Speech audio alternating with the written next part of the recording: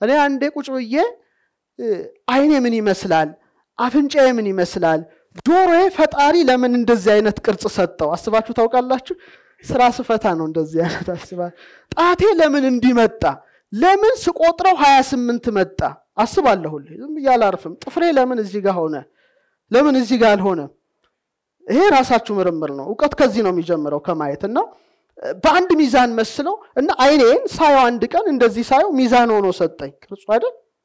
እዚህ ጋር እንዲህ ስለው ወደዚህ ስመጣ optic nerve አለ። ይሄ ለካ ማንጠልጠያ መሆኑን ተረዳሁ።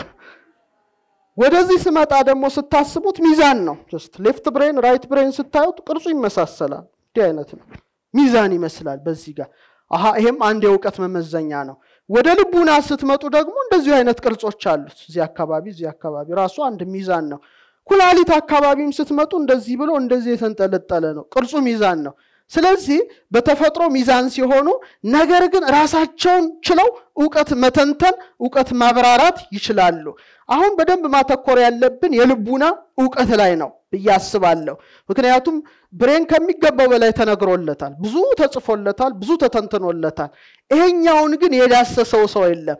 ኢትዮጵያውያን more ያተኮሩት እዚህ አካባቢ ነው። ይሄ ጥርት ያለ ነው። ይሄ ብዙ መረጃ ነው የሚሰበስበው። በቃ የሚያስፈልገው ማያስፈልገው መጋዘን በሉት። ይሄ ግን ትንሽ ማበጠር ይችላል እና ልብ ይስጥህ ይላሉ አል ሲመርቁ እናቶቻችን። ይሄ ልበቢስ ልብ የሌለው ልቡ የደነደነ ምናምን አይደል የአውሬ ልብ ያለው በጣም ብዙ ተብሏል በባህላችን። ምንድን ነው የሚለውን ነው አሁን ተንተን ማድረግ የምፈልገው።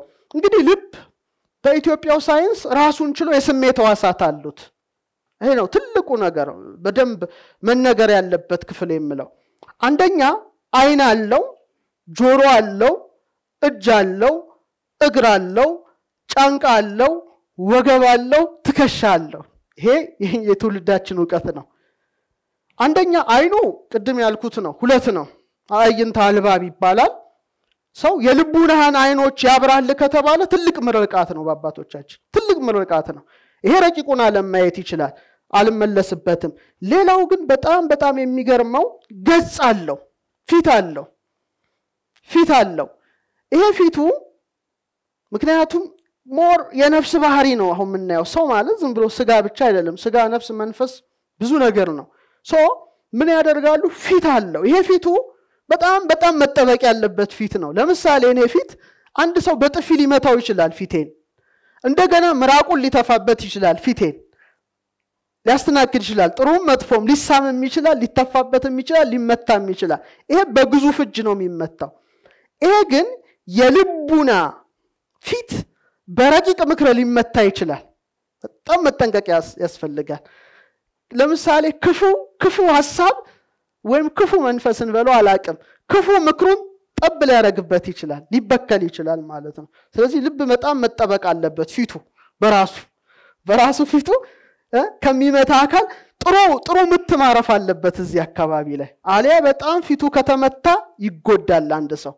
ስጋው ብቻ ብዙ ደስታ ሊሰጠው አይችልም፣ ማመጣጠን አይችልም። እንደገና ጆሮ አለው። ይሄ ምን ይባላል? በኢትዮጵያው ሳይንስ በተማር ነው አይዛነ ልቡና ይባላል። የልቡና ጆሮዎች ይባላል። ይሄ ከተከፈተ ሌላ ሰው ሊሰማው የማይችለውን ድምፅ መስማት ትችላለህ ነው።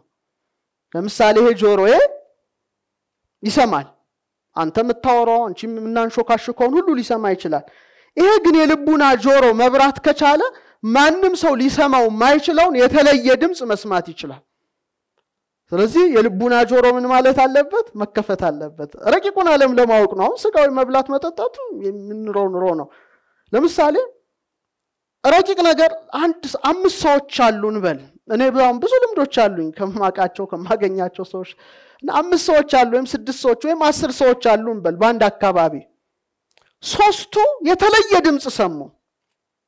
እኩል ጆሮ ነው ያላቸው። ሰባቱ መስማት አልቻሉም። የተለየ ድምፅ በቃ በጣም በቃ አጥንትን የሚያለመልም በደስታ የሚሞላ ድምፅ ሰሙ።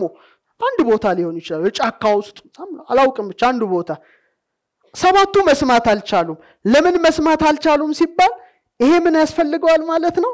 የውሳጣዊው ልብ ጆሮ መከፈት አለበት። የነዛ ተከፍቷል ማለት ነው። ስለተከፈተ ረቂቁን ድምፅ መስማት ይችላሉ። እነዚህ ግን መስማት አይችሉም። ይሄ ራሱን የቻለ አንድ ክፍል ነው።